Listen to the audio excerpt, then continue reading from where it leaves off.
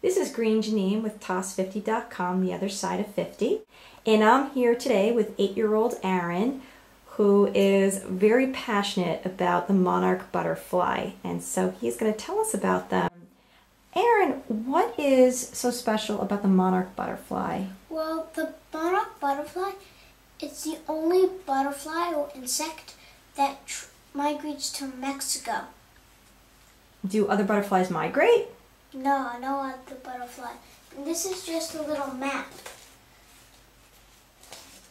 It starts out as here, in Mexico, and it comes up to the northeast of the United States. Aaron, I understand you're concerned about the migration. Can you tell us about that?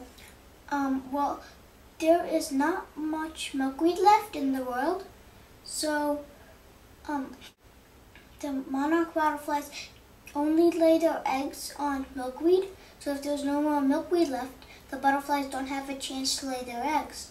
So um, there are less butterflies each and every year because there is less milkweed each and every year.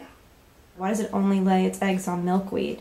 Because the milkweed makes the the caterpillar poisonous. So when they turn into one of these things, a, one of those chrysalises, they when they when they come out and they turn into a monarch butterfly, they are poisonous. So when a bird tastes them or it gets stuck in a spider web, you just let it go because they know this is not my favorite dinner.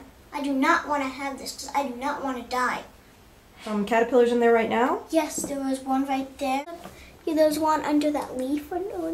If you could see it's shaped like a letter J. That caterpillar, in one to two days, maybe it might do it tomorrow or the next day, it might make its chrysalis.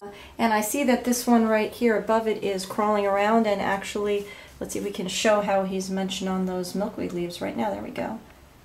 Get him eating away. He really wants to be poisonous. He looks just like the very hungry caterpillar from the book. You said you had some chrysalis up here? Yeah, we have two. Those are the green ones. The other empty ones, we had monarchs um, already hatch out of them. So if you want to help and save the monarch butterflies, you can plant milkweed in your backyard. Before we go, I see that you have something in your lap there. What is that? It is a monarch butterfly. Just in case you did not know what I look like, I am a monarch butterfly. Bye. Bye-bye.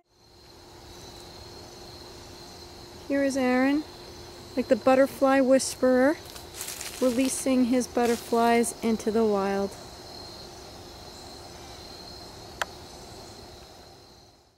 How does it feel, Aaron, to release your butterflies? It feels a little sad and a little grateful that we are helping the monarch, the monarch's population grow.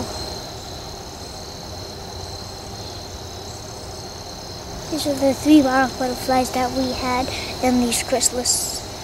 And um, they are now monarch butterflies. They started off as an egg. They start, and then they get, went into a larva.